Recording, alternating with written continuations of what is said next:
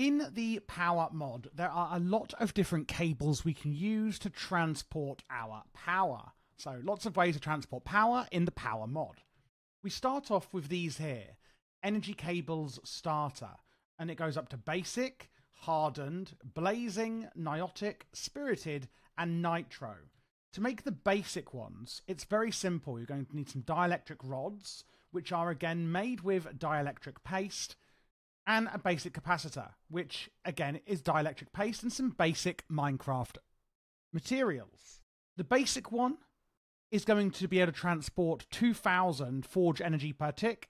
Then it's 5k, 20k, 50k, 200k, and a million per tick at the highest ones. Once you get to blazing, oh, in fact, hardened, my apologies. Once you get to hardened, you are going to need to start using other materials like energizing, energized steel. Another way you can actually do it is by using a hardened capacitor, which again is using energized steel, and you can actually use some of the uh, more basic items. So, two basic cables can then be upgraded into six hardened. And then you can do the same with hardened into blazing, and that continues on until you get the best ones. So, you can upgrade them.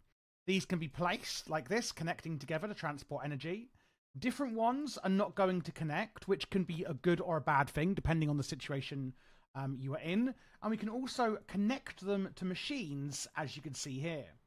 Now, what you can see on here is two little arrows. This means that we can input and output of this machine with this cable.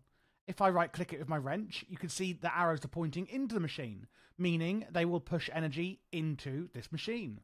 Or we can say only extract from the machine, where they will only take power from it.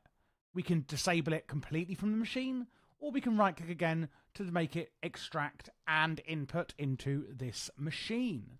And that is how we are going to use cables in the Powah mod for Minecraft. If you have enjoyed this video, do of course make sure to watch the rest of my Powah tutorials.